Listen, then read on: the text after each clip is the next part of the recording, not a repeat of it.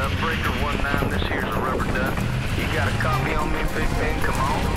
Uh, yeah, 10-4, Pigpen, for sure, for sure. By golly, it's clean clear to Flagtown. Come on.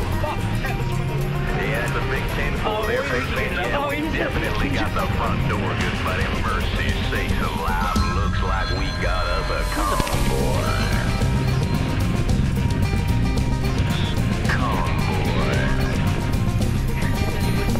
It was the dark of the moon on the 6th of June in a Kenworth pulling logs.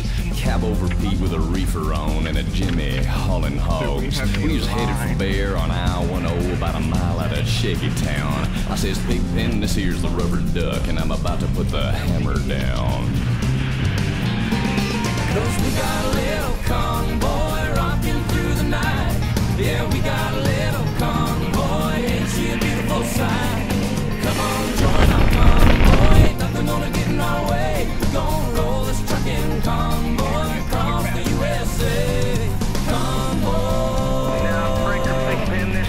duck, and uh, you want to back off them hogs?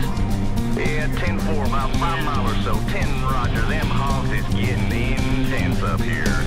By the time we got into Tulsa town, we had 85 trucks and all. But there's a roadblock up on the clover leaf, and them bears was wall to wall. And them smokies as thick as bugs on a bumper. They even had a bear in the air. I says, calling all trucks, this here's the duck. We about to go a hunting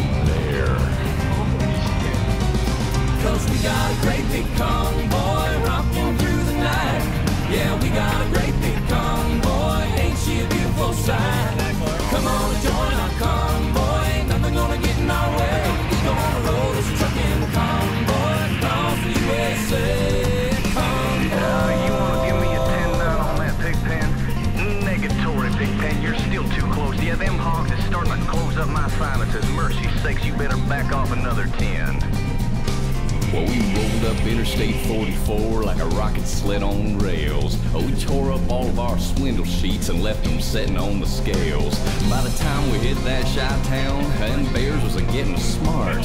They brought up some reinforcements from the Illinois National Guard. There's armored cars and tanks and jeeps and rigs of every size. And them chicken coops was full of bears and choppers filled the skies. Oh,